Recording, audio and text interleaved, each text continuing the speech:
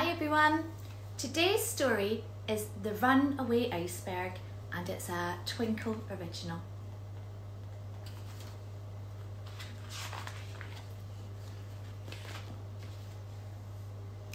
Land ahoy! shouted Rossi, looking out to sea with her telescope. Shall we dive in and explore, Captain?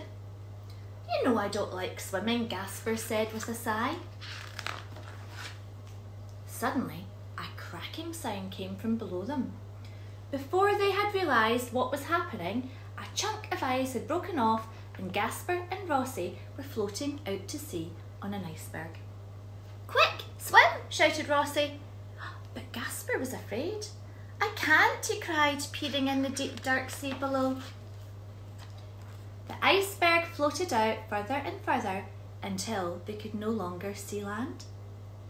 What are we going to do? asked Gasper, trembling. How will we ever get back? We're brave explorers, remember, said Rossi, holding Gasper's flippers. We will find a way. Gasper took a deep breath. I guess we could use our flippers to row back, he said. But which way is home? Lift me up, said Rossi. She climbed onto Gasper's head, but she was still not high enough to see land. Try jumping, she suggested, giving him a little nudge with her foot.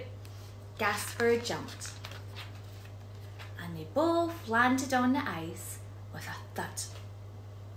Need some help finding your way? asked the snow petrel from above. Oh, yes, please, called Gasper. Which way is land? It's this way, called the snow petrel flying high above them. And Rossi used their flippers to row as hard as they could, but the current kept pushing them the wrong way. Need us to give you a push? asked an Antarctic silverfish from below.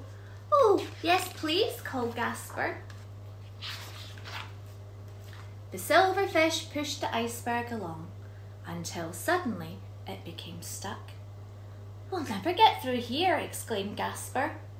Need some help breaking through the ice? Asked a blue whale from the deep. Oh, yes, please, called Gasper. With a huge flip of its tail, the whale smashed the ice and cleared the way.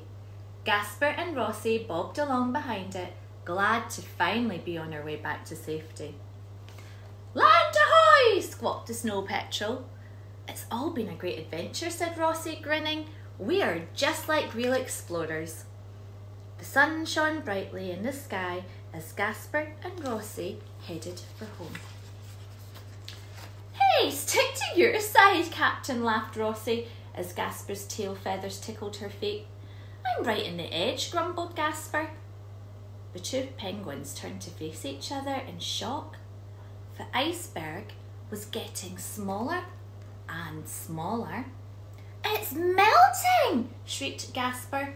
We need to move faster.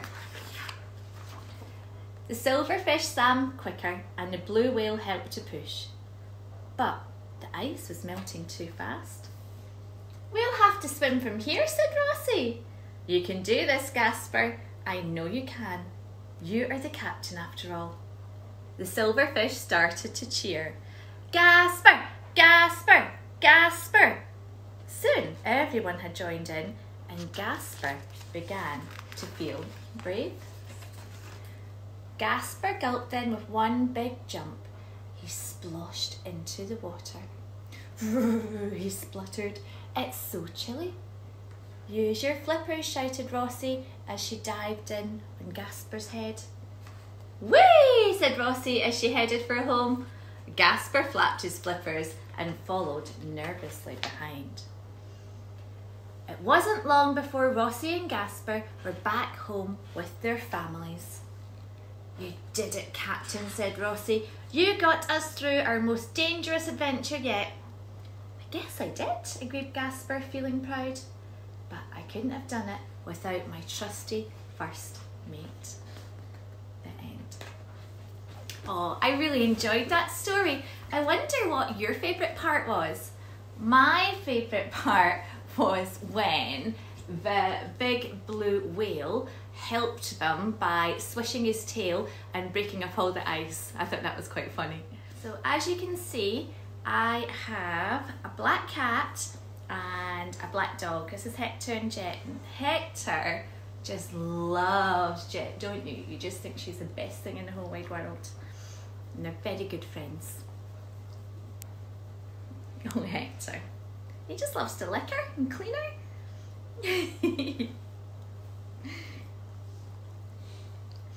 so from Hector and Jet, we'll see you again. Bye everyone.